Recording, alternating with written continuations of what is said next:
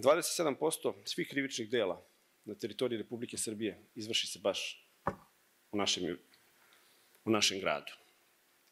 To je velika odgovornost za policijsku upravu grada Beograda, to je veliko opterećenje, ali to su ljudi koji se veoma efikasno, iskreno i mogu da kažem tvrdoglavo bore protiv kriminala u našem gradu.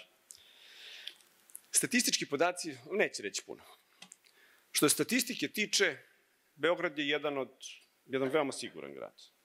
Znate, kada u gradu od 2 miliona stanovnika za godinu dana imate pet mafijaških ubistava, mnogo veći gradovi nego što je Beograd bi vam pozavidjeli zbog toga. I rekli, odličan rezultat. Posebno kada je tih pet ubistava rasvetljeno. Što je fantastičan rezultat. Preko svako očekivanja.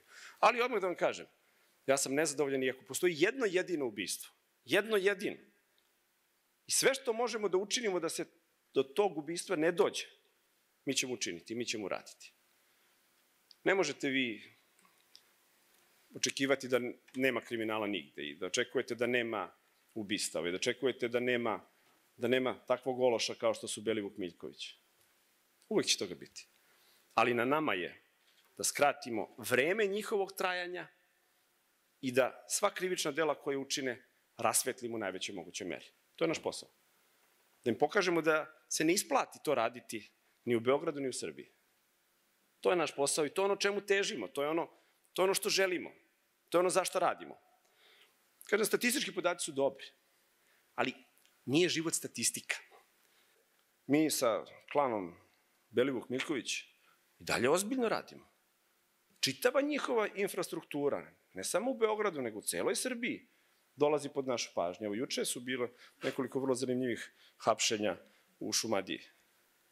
Imali smo to i u Smederevu, ima, u svakom gradu, gde god postoji filijala koja je dilovala drogu za njih, ili ko zna kako krivična dela radila, doći će pod naš udar i pod našu pažnju. Neće ovo stati samo na njima. Ta, ta, ta struktura zla mora da se pronađe i demontira. Kao što će i svi oni koji pokušaju da zamene njihovo mesto, koji pokušaju da budu naslednici, takođe pasti. Znate, uspeh naše policije će se meriti bezbednostne informativne agencije, tužilaštvo za organizovane kriminal, će se meriti po tome da svaka sledeća organizovana kriminalna grupa koju razbijemo, koja padne, koliko će biti slabija od ove koju smo razbili. Da im se ne dozvoli da ojačaju, nego da svaka sledeća bude slabija. Svaka sledeća. I po tome će nas meriti. Postoji naravno još jedno merilo koje ja imam za svakog načelnika policijske uprave, a posebno pukovnika Milića u gradu Beogradu. Osećaj građana za koje si zadužen, za koje si odgovoran. Nema sitnog i krupnog kriminala. Kada mi sklonite sa ulice jednog dilera sa 15 grama marihuane, vi ste mi ga sklonili jedno šest meseci sa ulice i on šest meseci ne može da truje decu. I baš me briga što je to samo 15 grama. On šest meseci neće otrovati ni jedno jedino dete. I da ga uhapsim sa 3 grama, opet će šest meseci biti gde treba da bude i neće otrovati ni jedno naše dete. Kada jednog džeparoša iz bilo koje autobuske linije, kada ga uhapsite, svi oni koji su u autobusu, svi oni koji, koji koriste gradski prevoz, javni prevoz, se osjećaju bolje.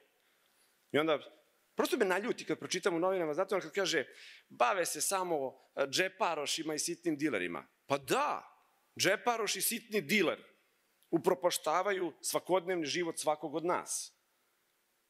Neću da se plašim kad moje dete ode u školu. Da li će mu neko skinuti patike, da li će ga neko pretući.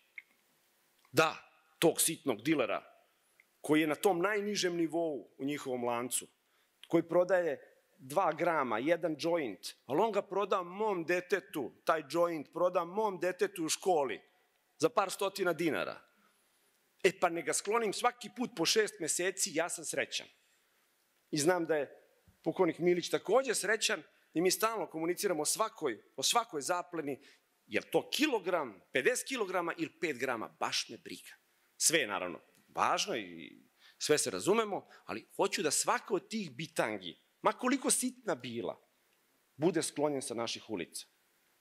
Da se mi, kao obični građani, kao običan svet, osjećamo dobro. Da smo sigurni, bezbedni.